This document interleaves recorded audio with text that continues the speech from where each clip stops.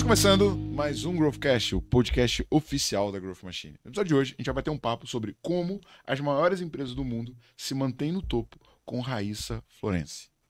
Muito obrigado pela tua participação, muito feliz. Última vez eu estava sentado nessa cadeira, né? E vai ser uma honra bater esse papo contigo, Raíssa. Que responsabilidade, hein, Thiago? Prazer é. é. meu, a honra é minha e agora é a revanche, né? Revanche. Vou, vou, Eita. vou te tratar que nem você me tratou. Mentira. Muito bem, por sinal, né? Muito bem. Junto com a gente, Leonardo Alexandre, co-host do podcast, sócio da Growth Machine. Léo, tem tempo que a gente não grava, hein, cara? Pô, tô, tô totalmente enferrujado, tô bem perdido aqui já. É pra galera que tá ouvindo, fala assim, não, toda semana tem. Não, galera, assim, a gente otimiza tempo, né? A gente fica um tempo gravando e depois a gente lança tudo. Deve ter o quê, Júlio? Uns dois meses? Um mês. Um mês sem gravar. Pra mim parece muito tempo. Ó, com mais de 12 anos de experiência em vendas e marketing e sucesso do cliente e desenvolvimento de novos negócios, passou por empresas como Ambev, Kremer e mais de oito anos de experiência liderando grandes equipes. Hoje em dia é cofundadora e CDO da Escola Coru, uma aceleradora de pessoas que desenvolve habilidades essenciais para o seu sucesso pessoal e profissional. E além disso, empreendedora apaixonada por educação e por revolucionar empresas, mãe da Ana Clara, doida por definição, como ela mesma se define nas suas redes sociais. Eu quero saber qual que é o segredo para não envelhecer, mesmo tendo 86 anos, sabe? 86 Hoje anos. Não vou passar aqui, depois eu deixo nos comentários ali o contato da minha dermatologista, tá bom? Tá tudo certo. É, é, não, um monte de coisa já, né? Mas eu acho que é isso. Quando falo de doida ali, é realmente, não tô brincando. É, eu tava falando pra você agora há pouco que é a louca furiosa, né? Quero fazer tudo ao mesmo tempo, dar conta de tudo e eu tenho muita energia. Isso é um problema, na verdade. Que eu infernizo, eu falo, é, eu sempre brinco, né? Eu sei fazer uma coisa muito bem. Atazanar seres humanos. Ponto. Então eu tenho muita energia e eu preciso gastar essa energia. Então, desde pequena, a minha mãe, ela ficava arrumando coisas pra eu fazer, porque era insuportável. Eu me quebrei 12 vezes. Caraca. 12, 12. Porque eu não tava fazendo nada, subia na árvore, caía, achava que era uma boa ideia. Então, minha mãe foi arrumando programas pra mim. Então, desde pequena, eu sempre fiz, desde taekwondo, balé, capoeira, tudo que você pode imaginar, porque minha mãe precisava gastar a minha energia. E hoje a lógica é a mesma. Você gasta energia agora vendendo, empreendendo e Vendendo, fazendo. Empreendendo, criando uma criança, tudo isso. Ó, antes da gente começar a nossa conversa com a Raíssa, eu gostaria de agradecer ao nosso patrocinador, a Zorro. A Zorro oferece uma suíte completa de aplicativos de negócio e produtividade para ajudar a empresa a crescer e prosperar. Para saber mais sobre a Zorro, como ela pode ajudar a sua empresa, visite o site da Zorro e também tem um QR Tem um Code, né? Code que aparece aqui na tela, caso você esteja vendo no YouTube, né? Além disso, né, se você quer passar três dias comigo, com o Leonardo, entendendo exatamente como é que você monta a sua máquina de vendas, explorando estratégias, processos, tudo isso para você dominar o seu mercado, Imersão Growth Machine, link na descrição desse episódio. Não sei se vai ter QR Code também. Será que teremos Não, QR Code? QR Então, Code. temos um QR Code ainda, ó. também. Dá uma pausa aqui rapidinho no YouTube. Coloca um vídeo aqui o, da, da imersão pra galera entender o que, que é a imersão.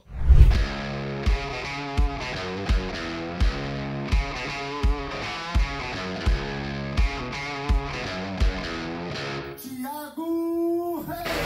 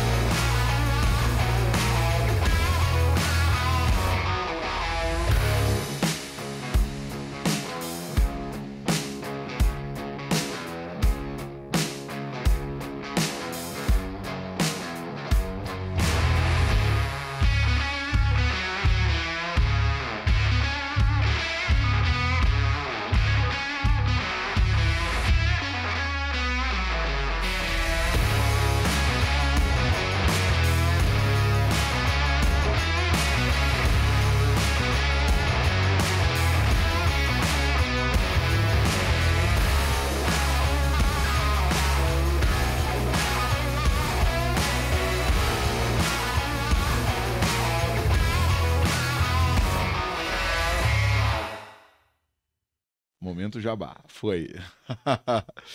Ó, é, antes da gente, da gente descer, né, no como, como controlar o crescimento e tal, me conta um pouco assim, como você caiu em vendas, né? E você começou a trabalhar muito nova, porque independente da tua idade, você tem, você tem mais tempo de vendas do que eu. Não, mentira, não tem não. Mas tamo pau a pau ali, cara. Não, legal. É, primeiro, assim, né? Acho que eu fui fazer faculdade de Relações Internacionais, mas gostei mais de economia. Então, fui mais para essa parte. Cara, queria ficar controlando indicador, isso já era um negócio animal. Aí fui fazer estágio, né? Aí me alocaram no RH. E falavam pra mim, Raíssa, você nasceu pra isso. E eu falava, gente, será? Mesmo? Que é isso? Porque eu sempre queria, eu queria vendas e ficava olhando, falando, puxa, vendo as deles, as matinais, né? Comecei minha carreira na Ambev. Então eu ficava acompanhando as matinais, aquele negócio, o bicho pegando e tudo mais. Eu falava, nossa, é muito legal. Todo mundo tem muita energia. Me identificava com o negócio. E tava em RH.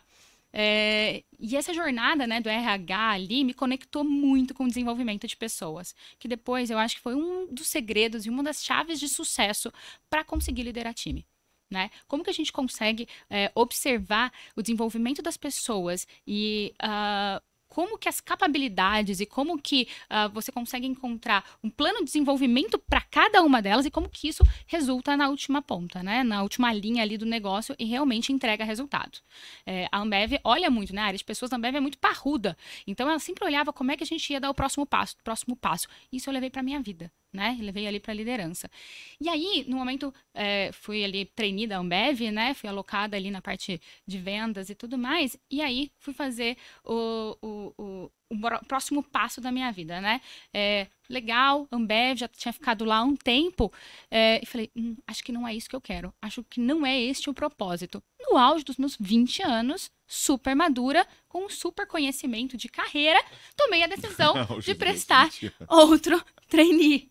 E falei, não vou ficar. Quem que desiste do trainee da Ambev? Ninguém. Caraca. Não, e Ninguém. detalhe que, tipo, é um processo Não, gigantesco. Odiada. É. Acabei com a meta de um monte de gente lá que tem meta de retenção de turnover, inclusive do meu sócio atual.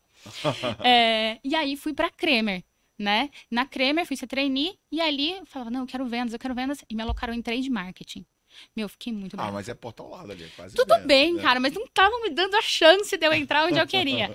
E aí fiquei em trade marketing, super projeto com key account e tudo mais. O projeto era para durar um ano, durou três meses, porque era muito mais fácil, foi subestimado, subestimado o projeto, não foi a minha super capacidade, mas a gente entreguei o projeto em três meses, virei pro diretor de vendas e marketing e falei, e aí, o que, que você tem para mim?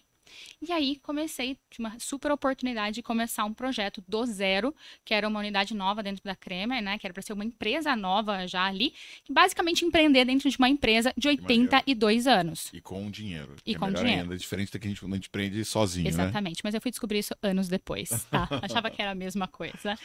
É, E aí, dentro da Kremer, fui abrir essa unidade de negócios, e aí, Raíssa, você tem que tomar, tocar vendas e marketing. Uma, uma pergunta interessante. Qual foi o, o- a sensação que você teve dessa mudança entre essas empresas? né? Porque são culturas diferentes, dinâmicas diferentes. O que você percebeu ali que É assim, uma coisa que eu percebo, vira e mexe eu entrevista alguém que passou pela Ambev, que a Ambev ela tem um processo seletivo, tipo, muito rigoroso, mas tem uma agressividade muito alta ali de performance e tal, e, e imagino que na Creme deve ser bem diferente, deve ser dois mundos distintos, né, ou não?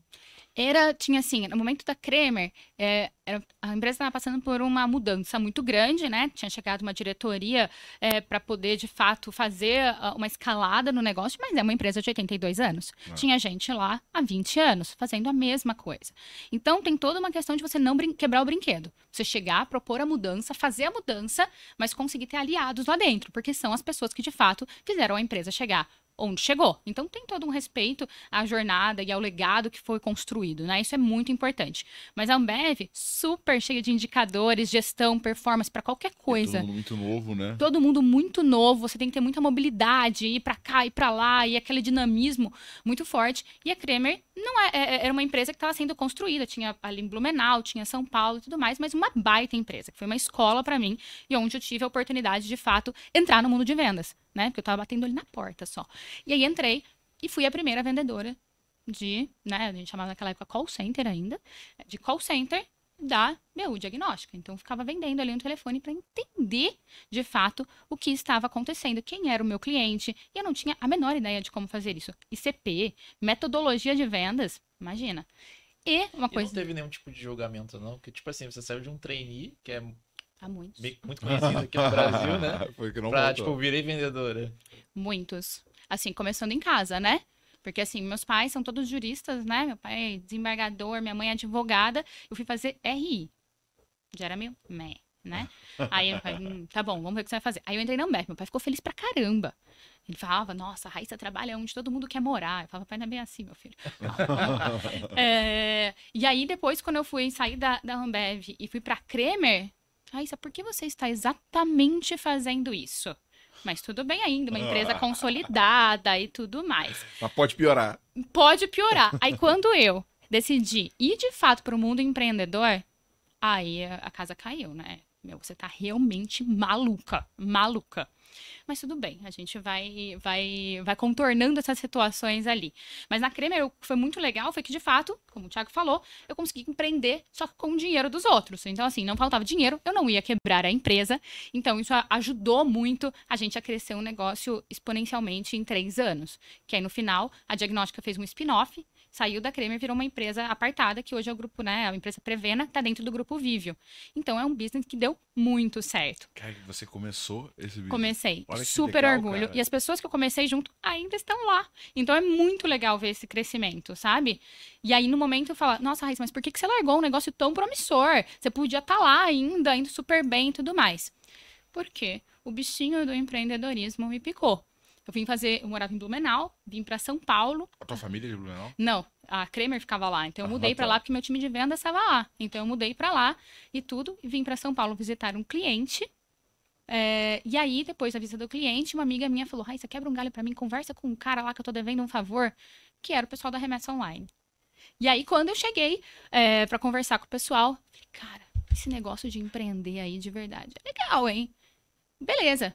O que, que a remessa online fazia? Legal. Remessa Online é a plataforma, né? Ela de câmbio, então faz remessas internacionais, B2C, B2B. Só que assim, a única vez que eu tinha tido contato com câmbio na minha vida foi na faculdade de economia. Ah, e e você fazia ainda Depois nunca mais. relações Depois... internacionais. Então, Exato. tipo, o câmbio é contigo. Era mais ou menos, né? Era na teoria ali. E depois eu fui vender cerveja, depois eu fui vender potinho de cocô, porque é isso que um laboratório precisa, né? Tubo de sangue, todas essas coisas. Então eu conheço todos os tubos de sangue. Você me fala, olha, preciso colher esse exame, eu te falo qual tubo que você vai Sério? colher. Sim, aprendi tudo sobre isso. E aí depois Só fui que pro eu fui câmbio. fazer, fazer um exame, os caras tiraram 20 tubos de sangue de mim. Tipo, Tinha todos os tubos de sangue que você pode Todas as imaginar. do cores. Gel É. clote, o amarelinho, Todos, é. O roxinho, Eu nem sei pra que seria. eles. Eu só que eu, eu nem olhava. A mulher tava com a agulha aqui, eu ficava assim de lado, porque eu olho pra nervoso. Sai meio tonto assim. Bravo, muito bravo. É. 20, minha mulher falou, vai Não. morrer, cara. Que isso, você tá doido. Você tá doido. Mas continua. E, cara, e engraçado, né? Tipo, eu tô pensando na história lá na frente, tudo a ver com a Ebanks, né, cara? Remessa internacional. é isso, exato. Exato. Mas eu cheguei, a remessa tinha 15 pessoas. Tipo, não era nada, ficava num coworking. Assim, tenebroso, não posso falar, falar mas tenebroso. E eu vim no mercado de saúde, super social e tudo mais. E foi um choque de cultura, né? Então, assim, Ambev, pauleira pra caramba. Kremer, uma empresa consolidada, precisando fazer um turnaround, mas no momento ali que você precisa ganhar as pessoas antigas para poder fazer a mudança. E depois uma startup que tinham 15 pessoas e não sabia como é que ia pagar as contas no dia seguinte. E eu não tinha muito essa magnitude. Eu fui ter essa magnitude quando eu cheguei. E detalhe, eu tava grávida. Então, assim, eu abandonei a minha carreira corporativa. Grávida. Grávida. Abandonei a minha carreira corporativa cheia de benefícios, licença maternidade, para empreender com um bando de gente doida, com 15 pessoas, numa empresa que tinha tudo para dar errado. Mas não deu. Mas, o que aconteceu? É, fiquei quatro meses até ter ah, a minha filha, né, a Ana Não, mas Clara. me, me explica uma coisa, Reis. É, tipo assim, você tem um processo de tomada de decisão muito eficiente, você é muito intuitiva ou é a, a descrição do teu Instagram? Acho que é mais a descrição do meu Instagram. eu gosto muito de tomar risco. E eu acho que eu uso a questão de. Eu acho que eu sou mais nova do que eu sou, tem esse ponto. É, eu falo, sou Como muito assim? nova. Não, sou muito nova, eu tenho a vida inteira pela frente, então tudo bem se eu errar. Se der merda, tá tranquilo. É isso. Então tem uma questão de também, beleza, se der merda, vamos ir pra frente, vamos em frente, vamos arrumar outro caminho ali a gente vai dar certo. Só que geralmente as coisas vão indo, né? Eu acredito muito nesse negócio quando a gente coloca muita energia em uma coisa, as coisas dão certo. Né? Então, tudo que eu fui entrando, eu fui colocando muita energia e fui me dedicando e realmente colocando aquilo como um, um- um objetivo e um propósito. Cara, tem uma coisa que eu falo, tipo, aos quatro ventos. Que é, tipo... primeiro, quando você tenta alguma coisa e não dá certo, não é que você fracassou. Você apenas descobriu uma nova maneira de não fazer. E não existe, tipo, ah, será que vai dar certo? Não. Qualquer coisa que você faça dá certo. Se não deu, é porque você não insistiu pelo tempo necessário e com a intensidade necessária. É isso. Eu nunca erro. Ou eu acerto ou eu aprendo. Perfeito. Entendeu? Então, assim, é uma vontade de tomar risco muito grande pra poder fazer as coisas acontecerem, né? Então. Mas, tipo assim, eu, eu tenho um pouco essa parada, tá? Mas eu, eu, eu, eu, eu- me acho bem parecido contigo, eu só não tive filho tão cedo, né? É bom, é bom, é bom. Mas é, você precisa da atenção e do perigo para se sentir mais produtiva ou não? Tipo, se tiver tudo calmo, sabe, o mar tranquilaço, você tá, você, você executa bem ou, Eu ou vou não? atormentar alguém pra fazer alguma coisa diferente, entendeu? Esse é o ponto. Eu vou arrumar alguma coisa pra fazer. Eu tenho um processo criativo bom, assim, sabe? Então, ah, tá tudo tranquilo, esse é o processo. Vamos abrir um negócio novo? Vamos fazer aqui, vamos Você começar. precisa de problema. Eu preciso de problema. Assim, o que me move é desafio, né? Então, assim, cara, tá tudo bem, ajeitamos esse processo, vamos abrir um novo. E a gente começa a estudar o mercado de novo. Cara, me move, entendeu? Me move, eu preciso dessa energia, entendeu? Então é isso. Esse é o meu, o meu processo decisório ali de. E se der merda? Tudo bem. Você sabe que eu tenho, eu tenho, eu tenho um medo grande que é o seguinte. é, e acho que a gente tá chegando perto desse momento, né? tipo, toda a minha história empreendendo, toda a minha história na Growth sempre foi uma história de perrengue, sabe? Tipo, sempre tinha mais necessidade de atenção e tempo do que eu tinha disponível. Eu sempre precisei de mais dinheiro do que eu ganho. Então, assim, é, muito do- da minha execução, ela vem de um, cara, de uma pegada de sobrevivência. Ou eu me movo ou eu deixo de existir. E uma coisa que eu ensino no- na imersão, né, não sei se você lembra dessa etapa, é que eu falo dos cinco estágios que uma empresa passa. Né? Primeiro estágio, que é a sobrevivência. Uhum. Né? Você tá ali. Na verdade, é o, é o pr- primeiro é o início ou é a sobrevivência? Agora eu não lembro. Acho que isso pra- Sobrevivência. Depois vem a sustentabilidade. Né, que aí você passa a ter mais receita do que despesa e, e é onde todo mundo Perfeito, trava, né? E aí vem crescimento e escala. Tem falta faltando um que eu não me lembro agora o nome. Mas beleza. A sustentabilidade, ele é o maior perigo que existe para o empreendedor. Porque a partir do momento que ele começou a ter mais receita do que custo e começou a ter uma vida melhor, a tendência é que a maioria das pessoas desacelerem. É isso. A gente está chegando ali a 100 colaboradores, vamos chegar perto de 30 milhões de faturamento. Então, na teoria, a gente está chegando num momento que é relativamente tranquilo. Só que eu tô sempre criando novos problemas É para não deixar o negócio desacelerar. E eu, eu, eu tenho uma insegurança, tipo, cara, quando a gente tiver, sei lá, porrando muito, se eu vou continuar, tipo, louco que nem eu sou agora, tipo, dormindo Mas eu, 5 eu, tô- horas, 3 dias eu, pelo seguidos. menos, eu tô com a percepção que é muito mais fácil você resolver os problemas quando a empresa é maior do que quando. Não sei, Puta, eu não sei, sei, eu acho que você pode opinar. sobre Tem, isso. acho que prós e contras, tá? Acho que tem aquela questão de quando a empresa é menor, você toma decisão. Então as Aham. coisas estão mais centralizadas e tudo Tem mais. pouca É, consequência, né? tem pouca consequência também. E assim, é. Né, você faz rápido as coisas, você vai mudando rápido, deu certo? Não. Então você tem uma jornada de aprendizado. Depois, quando você tá, e eu brinco, né? Qual que é a beleza de uma startup? Beleza de uma startup é que você é um navio pirata. Né? É aquele barquinho pirata que tá lá todo mundo caçando o pote de ouro. Então vai todo mundo, ó, o pote de ouro, vai todo mundo lá. O que, que acontece com isso? Tem gente que não tá vendo as outras coisas do barco, baixando a vela e tudo mais. Às vezes o barco afunda. E tá tudo bem. Ou às vezes você perde algumas pessoas pelo caminho. Porque é todo mundo com aquele sangue no olho pra ir atrás do pote de ouro. Quando você começa a ficar grande, qual que é o grande problema? Você vira um transatlântico. Aí o transatlântico está mais preocupado se o lençol é fio egípcio 400 ou do que onde está o pote de ouro. E aí você coloca o estagiário, que por melhor que ele seja, ele é o estagiário, para olhar onde está o pote de ouro. Aí o estagiário acha o pote de ouro. E para ele conseguir falar com você e te avisar que tem um pote de ouro. E aí muita gente, muito- muitos empreendedores acabam ficando com um transatlântico parado no meio do oceano e param de caçar o pote de ouro. Esse é o grande problema. Então, assim, se você é um empreendedor, está mais preocupado com seus processos internos do que entender qual é o próximo passo que você vai atender teu cliente, cara, você tá afadado a ser um transatlântico parado no meio do oceano. E aí você tem dois caminhos. Ou você vai ficar lá é, navegando meio sem rumo e vai bater num iceberg, que você não estava olhando porque estava preocupado com a roupa de cama. Ou alguém vai chegar, um outro barco maior vai chegar e vai te engolir, vai bater em você, porque você também não tá olhando o que, que tá acontecendo à sua volta. Isso é um problema. Então, se você está se tran- transformando em um transatlântico, uma parte desse transatlântico tem que continuar olhando para frente. E é onde que estão os potes de ouro. É, e, a minha, e a minha defesa, né? A gente vai entrar em planejamento estratégico, acho que daqui a, daqui a duas semanas, né? É, eu quero pegar a growth e transformar ela em vários pequenos negócios, entendeu? Então, tipo, educação vai virar uma unidade de negócio, área de serviço vai virar uma unidade de negócio, área de tecnologia virar. Porque eu vejo que a gente começa a fazer compartilhamento de recursos, de decisão, e aí, ah, não, cara, vamos criar uma diretoria de sucesso do cliente que olha pra tudo. Porra, vai dar merda. Uhum. Tipo, o KPI, a métrica, é tudo muito diferente. A gente vai acabar priorizando onde tem mais receita e talvez um negócio que pode né, florescer e virar importante pra caramba vai acabar É isso. sendo morto no início. É, exatamente, porque sempre a prioridade é o que está dando mais receita naquele momento, né? Então, você vai colocar ali uma sprint de design, por exemplo, um negócio, uma campanha que é daquela do seu cash call, ou você vai colocar de um negócio que é pequenininho. E eu senti exatamente isso na Creme, porque apesar de estar numa estrutura muito grande, eu era sempre a última da fila, porque eu compartilhava das outras áreas no E primeiro momento. Baixíssima prioridade, porque baixíssima. quando eu olhava pro resultado global, tu Não, era baixo. diagnóstica é né? fofa. É. E só, entendeu? Então a gente teve que ir cava- cavando o negócio para poder dar certo. Agora voltando, né? Barriguda, Barriguda. Assumindo vendas e que mais? Tinha, tinha mais alguma tensão aí ou não? Não, era, mudança, né, pra cá. Mas a atenção era, cheguei na, na MS, era um time muito pequeno. Tinha dois, três vendedores ali do negócio. E não tinha processo e tudo mais. Então, assim, eu cheguei e falei, gente, daily, mercado financeiro, abre às nove, gente. Nove horas da manhã, eu quero estar fazendo a daily pra gente falar das notícias do mercado, porque a gente tem que passar isso pro cliente. Na primeira semana, pediram minha cabeça. Porque eu cheguei numa startup Gerou- botando um processo. Não podia beber durante o dia. Só depois dos 18, que pra mim era óbvio, né? Mas aquele contexto de startup não era. Então, uma semana pediram minha cabeça. Foi meio complicado. Aí, não, vamos fazer aqui, tal, tal, tal. Beleza, fomos acelerando ali, o negócio foi super bem.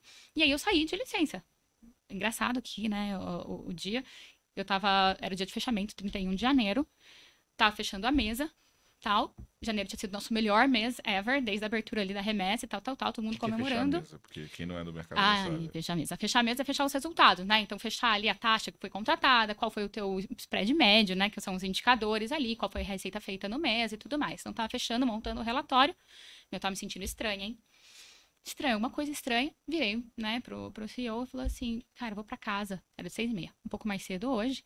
É, pra eu colocar a perna pra cima porque eu tô estranha. Ele olhou pra mim e falou, Rá, você não volta. Falei, como não? Claro que eu volto. Detalhe, estava de 40 semanas.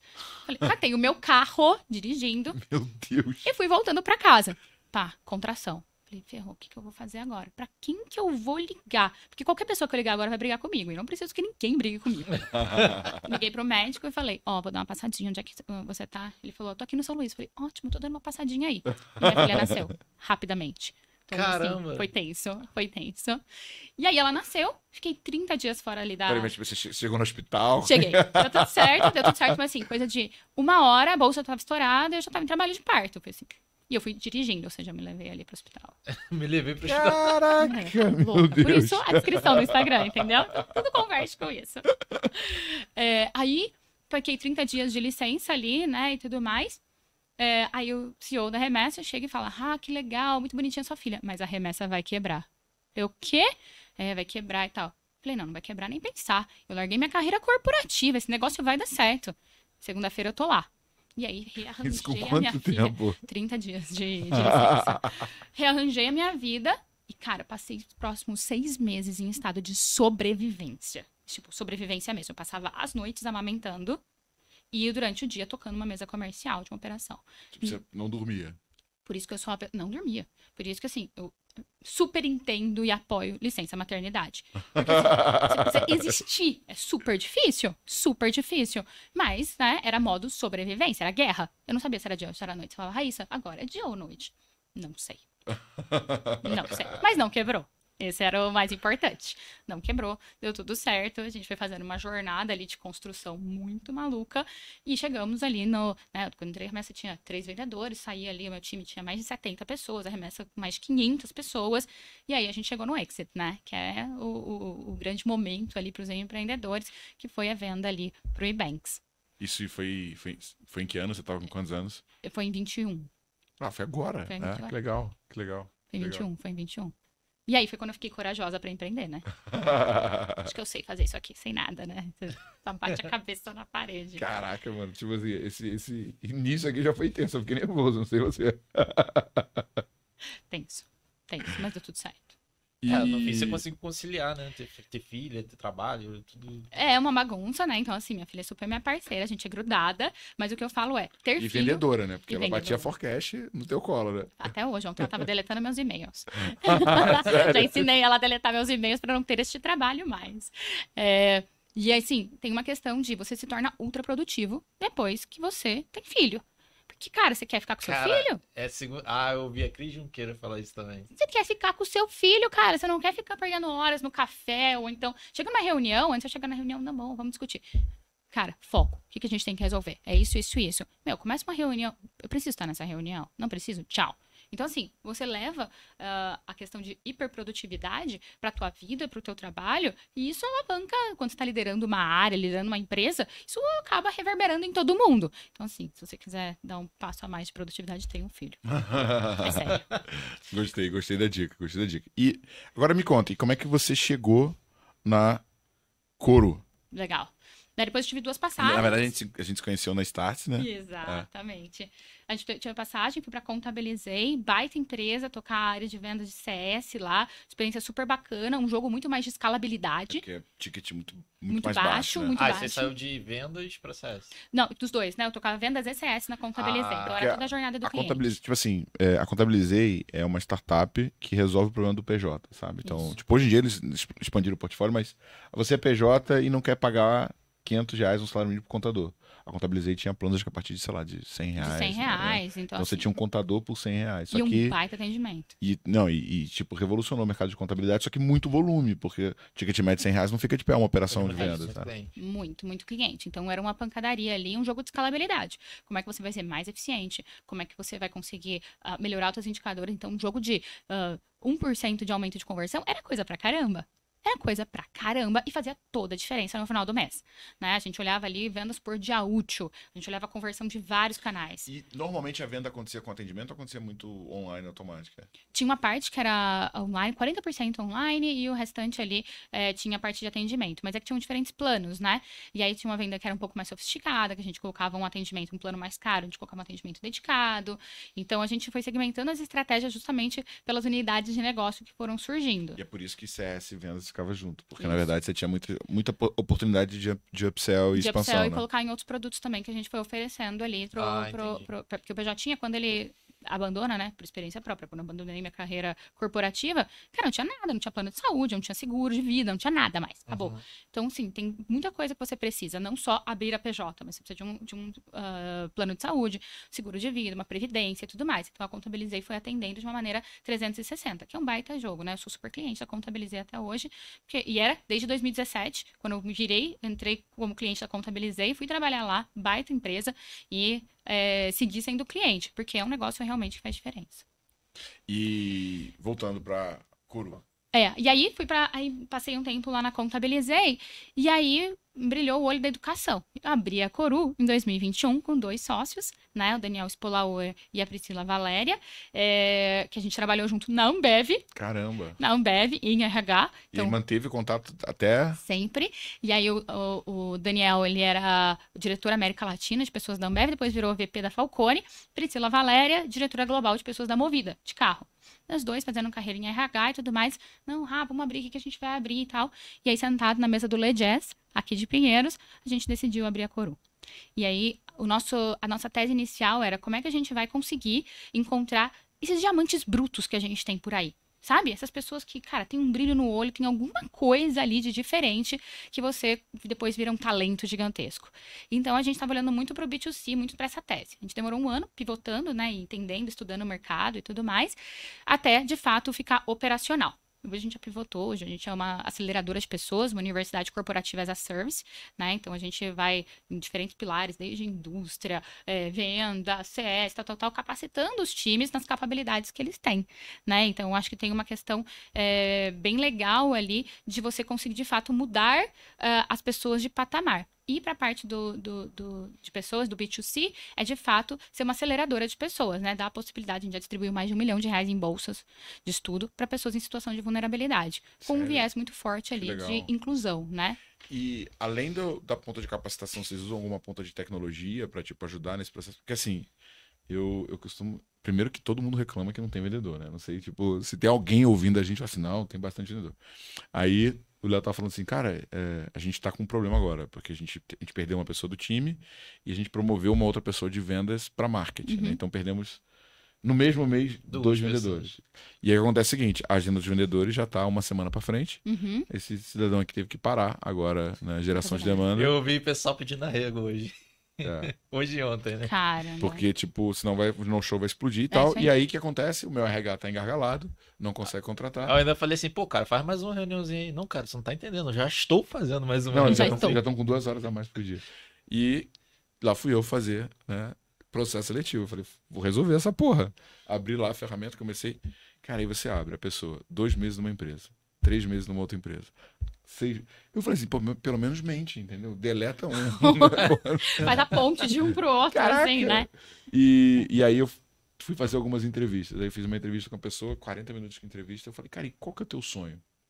A pessoa, meu sonho é ser professor uni- universitário. Eu falei, sério, que legal, parabéns, cara, que propósito bacana. Mas você tá pensando em ser professor universitário part-time?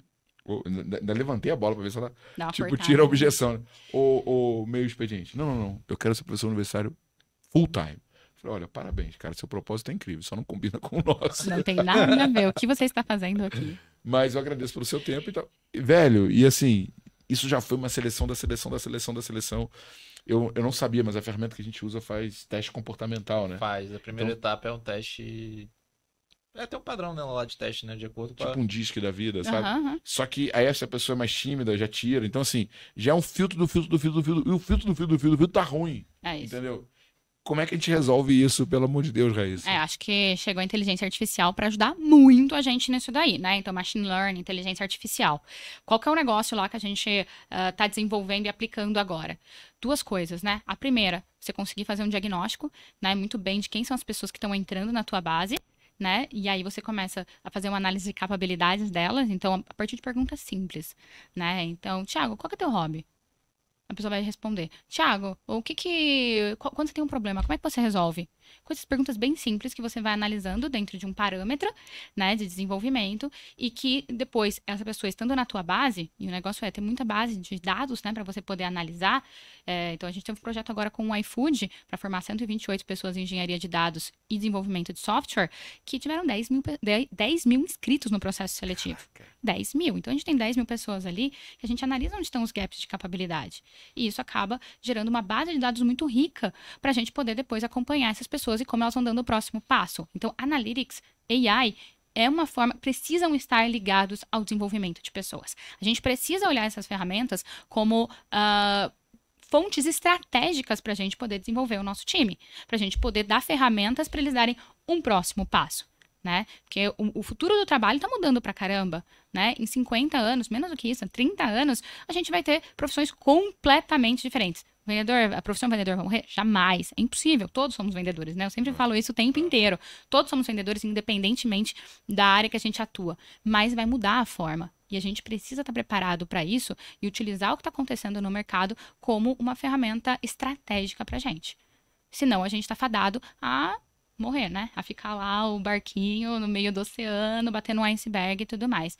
Então é super importante. E quando a gente fala de autoaprendizado, é também uma baita ferramenta e uma baita forma da gente continuar crescendo dentro da nossa jornada, né? Sem ter que a gente ter que ficar sendo munido de informação o tempo inteiro. A gente já é. Mas o filtro de quais são as informações que realmente valem a pena é o jogo hoje. É, e, e, assim, uma coisa que eu sempre bato muito quando eu tô em processo seletivo, e aí eu acho que, pelo menos essa é a minha crença, não sei se eu tô certo ou se eu tô errado, é hábito da pessoa, né? Completamente. E aí uma coisa que eu pergunto sempre é, cara, qual livro você tá lendo? Acho que você também faz isso, né? Ah, geralmente eu pergunto por alguns aspectos, né? Depois eu vou explicar por quê. Tá, eu quero entender, mas assim, e das pessoas que eu conversei, tipo, três pessoas falam assim, não, eu terminei de ler um livro, mas não tô lendo nenhum livro agora. Eu falei, há quanto tempo? Ah, deve ter uns três meses. Eu falei, então, deixa eu, deixa eu te explicar um negócio, cara. Não vai ser legal pra você vir pra Growth. Porque aqui a gente tem clube do livro semanal. todo mundo é cobrado de ler e de estudar. E se você não tem esse hábito, vai ser muito difícil você construir isso. Né? Você sabe que você me influenciou, né? Que eu tenho um hábito de ler. Mas aquela história da, dos 5% da meta de leitura por dia, eu adotei.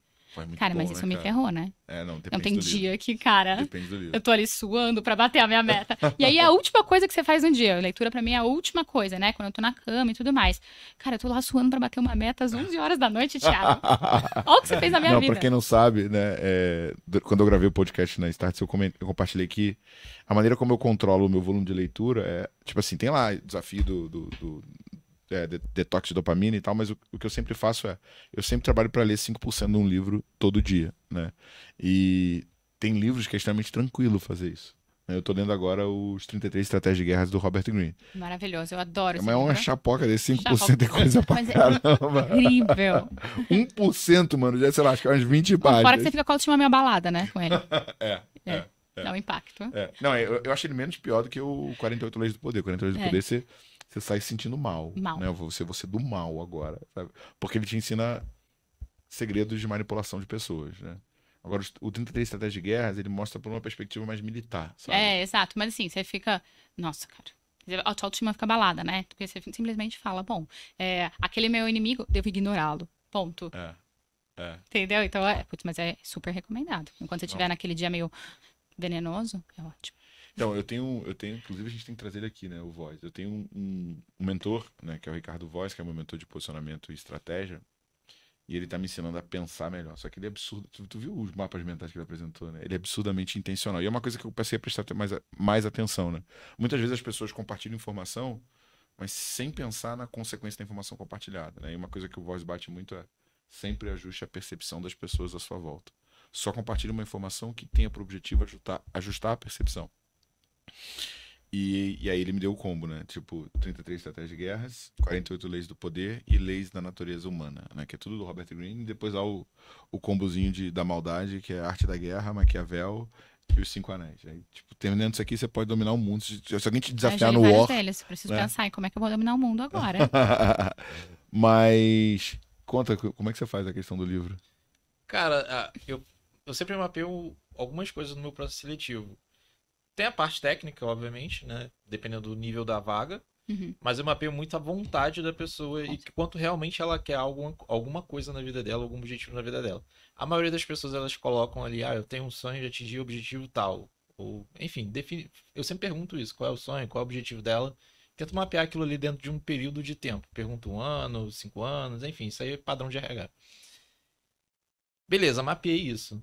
Aí eu começo a perguntar a execução dela. Tipo, beleza, você lê algum livro? Você gosta, o que, que você gosta de ler? Qual foi a última vez que você leu um livro? A pessoa geralmente, às vezes, ou lembra do último ou não lembra, tá? Uhum. Quando ela lembra do último, eu pergunto anterior. Quando ela pergunta anterior, eu pergunto há quanto tempo teve cada um, qual foi o Uhum. intervalo, para entender a velocidade de leitura dela. Uhum. Só que tem gente que não lê, que não gosta de ler, não é o padrão de aprendizado. Aí eu vou para conteúdo de vídeo, curso. Isso não, não, não, não é exclusivo, não é exclusivo para você, não ter hábito de leitura. Não, não. Às vezes eu olho muito Pô, pra também. Mim, pra porque... mim tava exclusivo, cara. Não, eu não, não excluo necessariamente, não. Porque tem gente que prefere estudar. É, por tem conteúdo de vídeo. outras formas, podcast e tudo Você mais. concorda que... Eu tento. Porque, pra mim, cara, leitura é, tipo, é básico. É que é nosso mano. poder de abstração. A leitura, ela melhora o nosso poder de abstração. Quando a Uhum. gente está lendo, a gente é obrigado a usar uma parte muito maior do nosso cérebro do que quando a informação vem mastigada. Um vídeo, a gente está basicamente vegetando. Então, quando você vai estudar neurociência, quando você faz o hábito, você tem o hábito de leitura, as pessoas geralmente têm uma capacidade de abstração muito, Muito maior. maior. e Então, isso mas aumenta a aí- criatividade. Fazendo essas perguntas, eu percebi até algum- alguns padrões, né? Por exemplo, é, geralmente quem lê também estuda em vídeo. Uhum. Esse é um padrão que eu Uhum. percebi, tá? É, geralmente a pessoa que não lê, né, não faz leitura, ela até faz um curso ou outro ali, começa, mas nunca termina. E ela, tipo, é, é- é honesta assim contigo? Não, tipo assim, geralmente eu pergunto, pô, beleza, qual foi o último curso que você fez? Qual foi o Ah, último. entendi. Aí a pessoa. Aí ela vai na, dire... na seguinte direção. Ah, eu tô fazendo faculdade, eu tô fazendo escola. Ah, eu, não, cara, tipo, que você fez além da faculdade? Porque, tipo assim, eu considero a faculdade A obrigação. praticamente uma obrigação, porque é o cu- sua base curricular ali que você tá desenvolvendo. E geralmente você já é pressionado a isso, dentro do seu ambiente familiar, enfim. Muitas das vezes você é pressionado a fazer uma faculdade, né? Beleza, você tá fazendo o básico. O que você faz de- por fora? Exato. Curso que você faz, coisa Exato. que você faz, caso, enfim. Aí a pessoa fala, ah, tô fazendo um curso de tal coisa, mas é online, não é Uhum. presencial. Oh, beleza, é online, Tudo tudo bem. sem problemas. Eu, tá bom, quando é que você termina esse curso? Aí a pessoa já para, pô, peraí, não consigo precisar quando eu vou terminar. Qual foi o outro curso que você fez, o anterior a esse? Aí ele demora a responder, pô, foi tal curso. Pô, quanto falou, tempo você "Hum, fez? Tem algo errado Ah, aqui. tem um ano, um ano e meio que eu fiz. Aí eu volto lá naquela primeira pergunta inicial, qual é a meta dessa pessoa? Uhum. Por exemplo, eu já ouvi gente que falou, ah, eu quero ser diretor é, da área de vendas, quero ser diretor da área de marketing, quero ser diretor de tal coisa. Quando eu olhava a execução daquela pessoa, cara, vai passar 15 anos e ela não vai chegar naquele objetivo. Vai passar 20 anos e ela não vai chegar naquele objetivo, porque o tempo de estudo dela tá muito menor do que a meta dela, Exato. entendeu? Agora, você falou uma coisa, assim, eu contratei algumas pessoas brilhantes na minha vida, né? Tipo, o Léo é uma delas, Cadu é outra, Marcos, que não trabalha mais comigo, é outra, que tá, no, tá numa outra startup lá do, no Rio Grande do Sul.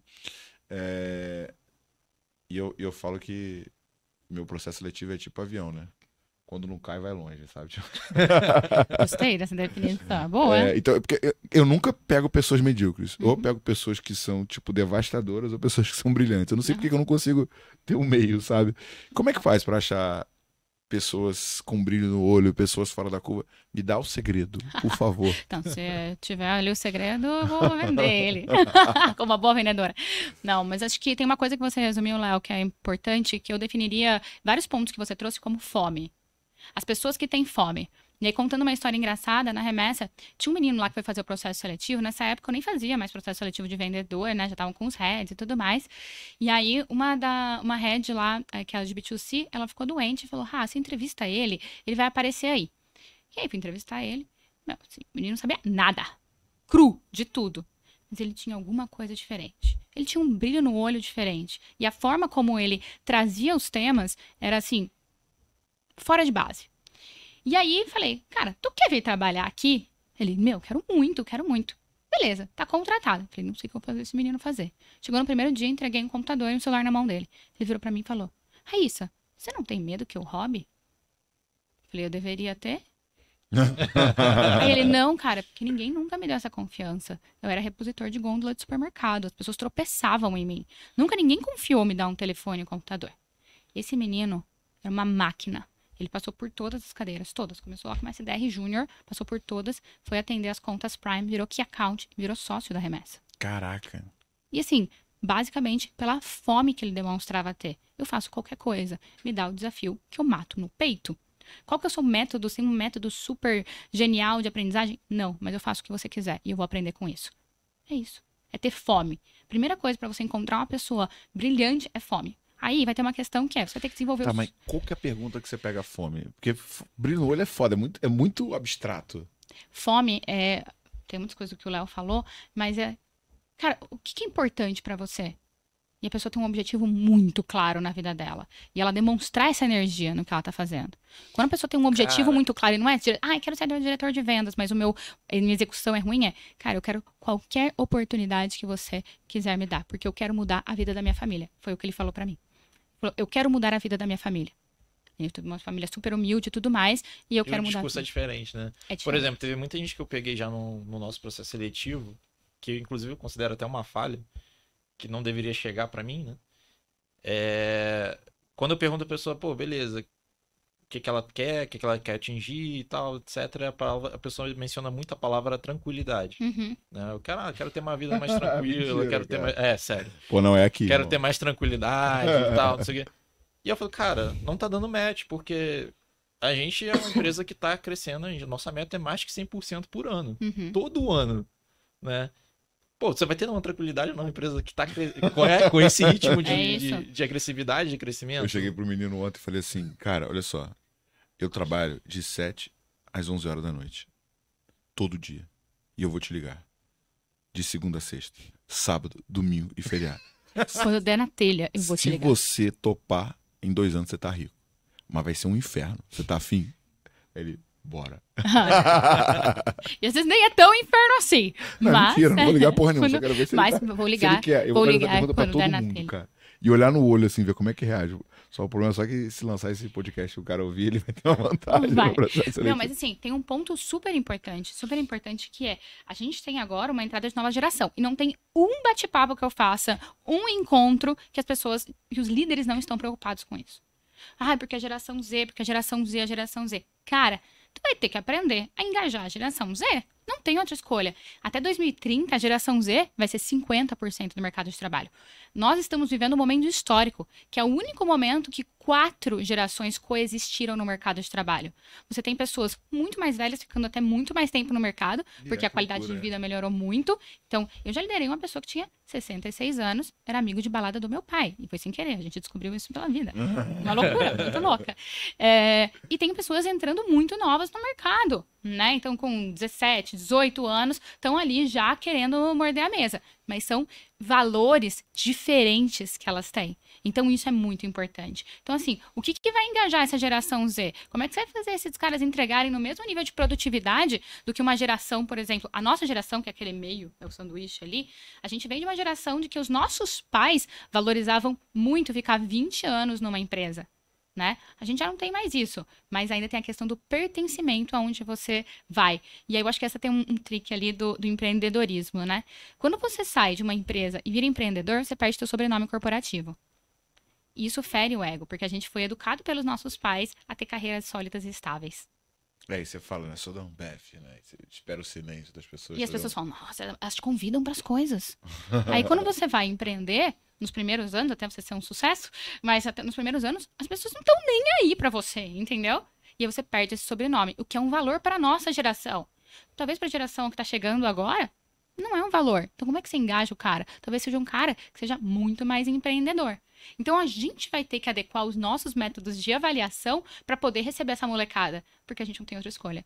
E também abrir um aspecto maior, né, um, um- maior ah, nível de pessoas que também estão fora dessa faixa, pessoas mais velhas talvez, que também têm outros valores, querem mais estabilidade, querem ficar na empresa muito mais tempo, são mais resilientes, mas não tem tanta adaptabilidade com tecnologia. Como é que a gente consegue adaptar os nossos valores e desenvolver as pessoas, identificando as capacidades para que a gente consiga ter organizações que vão durar muito tempo. Se a gente não fizer isso, a gente vira o É. barco. Eu acho que tem que, tem que ser um misto, né? Você tem que aproveitar um pouco, ma- um pouco de cada, cada coisa. Por exemplo, que eu percebi, pessoas mais velhas, eu fiz processo seletivo mais seniors, né? Cara, tem uma capacidade de conectar assuntos diferentes num nível totalmente Repertório. diferente. Muito Repertório. repertório. Tipo assim, eu sei que não vai ser a pessoa que vai ter um nível de execução absurdo. Mas em relação à tomada de decisão, vai ter mais assertividade. É resiliência, muito mais. É, mas, mas, sei lá, tipo, eu ia falar traquejo, mas assim, tem, tem uma habilidade maior de lidar com contextos distintos, situações distintas, né? É. E- E é óbvio, a gente estamos fazendo generalizações aqui, né? São Sim. pessoas e pessoas, a gente tem que olhar elas Claro. não na sua unicidade, né? Mas é isso. Então, assim, as empresas que vão muito bem são pessoas que. São empresas que têm pessoas fora da média. Né? Poxa, aqui você atribui ali o sucesso da Growth, né? Além da sua mente brilhante, mas as Não, pessoas do que estão muito com você, né? Tive a oportunidade de estar lá com o time da Growth. Então, assim, cara, pessoas brilhantes, pessoas que estão lá para realmente fazer acontecer. E aí a tua missão é, de fato, identificar isso e como é que você faz as pessoas é, irem adiante, né? E aquele negócio, né, que eu sempre falo, que é ah, o melhor momento para você cavar o poço é antes de sentir sede. E com quem? Quem vai cavar esse poço?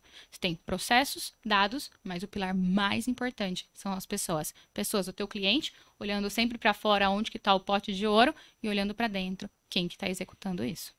Ah, isso é sensacional bater esse papo contigo. Olha, parabéns de verdade, tá? Você você não, não se cansa, né? Você dá mais um salto de coragem, né? É, foi um salto de coragem agora. Mas, cara, conta com a gente, tá? O Growthland você gravou pro meu time, a galera ficou apaixonada por você. Foi legal, sensacional. muito legal. E eu acho que a gente tem que fazer outros episódios do Growthcast Com junto certeza. contigo, né? Descer mais no achar talentos e tudo mais. E parabéns, a gente sempre fala, cara, queremos mais mulheres em vendas e você é um exemplo a ser seguido. Obrigado de verdade. Com certeza, obrigada a vocês, gente. Eu sou super fã do trabalho de vocês. é, sempre recomendo e falo de como a Growth ela vem mudando a realidade das empresas, trazendo mais clareza. Porque as empresas não sobrevivem se elas não têm clareza ali no processo, elas não estão trazendo dinheiro para dentro de casa. E isso falando muito de pessoas, né? Acompanho todos os dias a live do Thiago.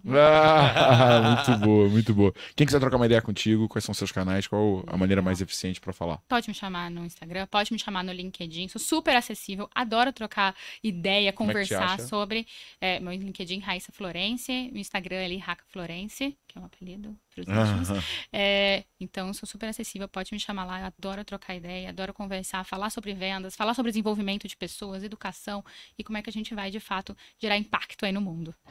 Boa, Bora, pra conta. pra conta.